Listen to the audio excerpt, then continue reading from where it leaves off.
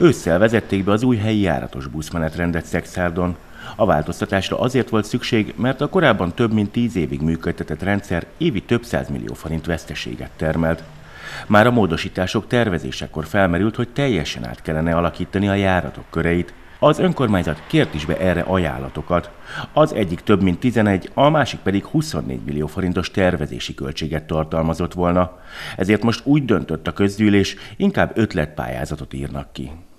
10 millió forint sikerdíjjal, és hát ha lesz erre valaki más, küldjük el ezt a, ezzel a képzéssel foglalkozó felsőoktatási intézményeknek, és hát ha lesz akár egy végzős diák, vagy, vagy valaki, aki ebbe beszáll, és úgy érzi, hogy ezért a pénzért megéri neki. A szeptemberi módosításokkal az eredeti elképzelés szerint a költségek nagyjából 20%-át tudták volna lefaragni.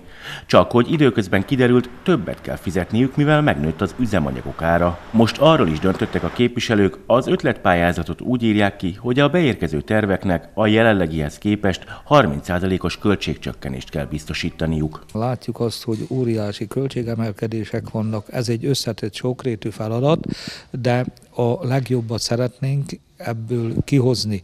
Természetesen a városlakók érdekeit maximálisan szeretnénk figyelembe venni.